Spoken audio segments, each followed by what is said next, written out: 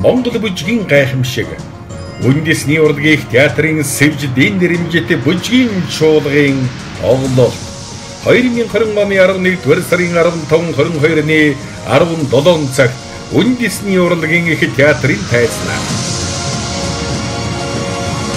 Үндэсний урлагийн их театрын 70 жил.